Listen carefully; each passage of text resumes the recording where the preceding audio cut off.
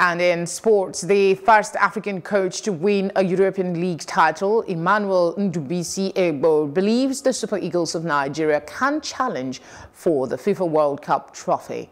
Coach Egbo, who won the Albanian top flight league title with KF Tirana with two games left and qualified the team for the UEFA Champions League, made history by becoming the first from the continent to achieve such feat. He described his success as a celebration for all Africans. He says after winning the title, he's aspiring for more success and his attention now is to win the last two league games of the season and also clinch the FA Cup, a title KF Tirana won last in 1999.